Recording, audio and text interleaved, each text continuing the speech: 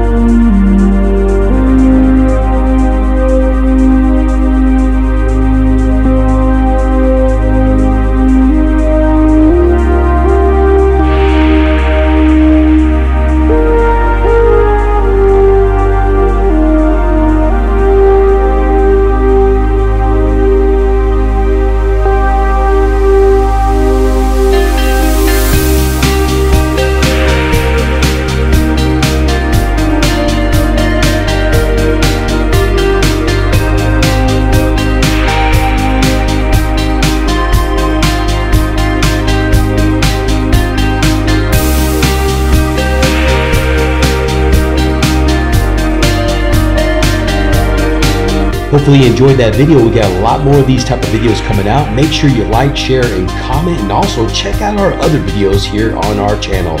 You have an amazing day.